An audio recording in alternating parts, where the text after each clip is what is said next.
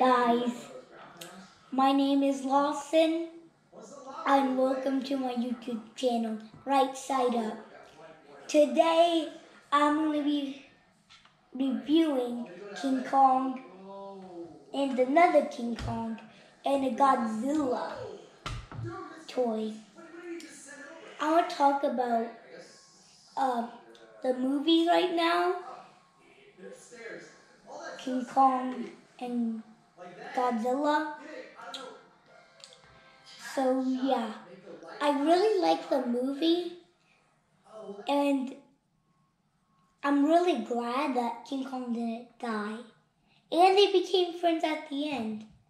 I really like King Kong, and I really really like Godzilla. Yeah, we have Godzilla. He has the spikes on his back like he usually does. And yeah, King Kong has scratches,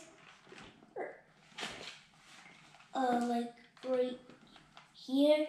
He's really big.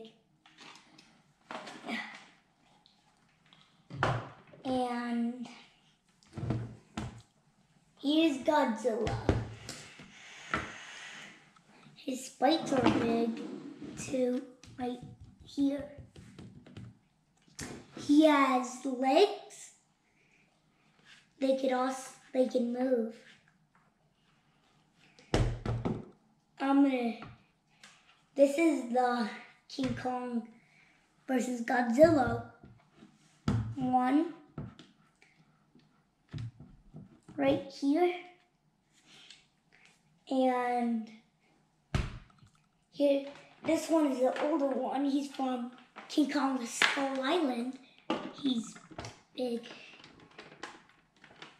He has the scratches. Both of them actually do. Which is kinda cool. I'm gonna go upstairs and get the remote for this robot. So yeah.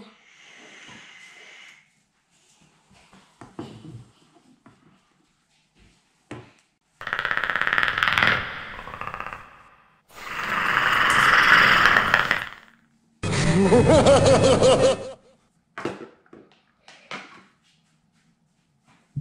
you know who moved this? Don't. Um, was his hand there?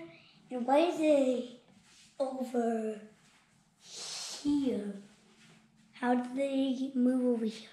This one moved over here somehow. I'm put him back over here. Lay them down. You lay down too. So I went upstairs and got two robots and they moved somehow. Right now my brother's outside so he can't move it. Huh. Weird. And his hand wasn't on his face like that. Wasn't like this. It was like down. And then he and I he was over like over here, and then he moved like here. Somehow it moved to a different place.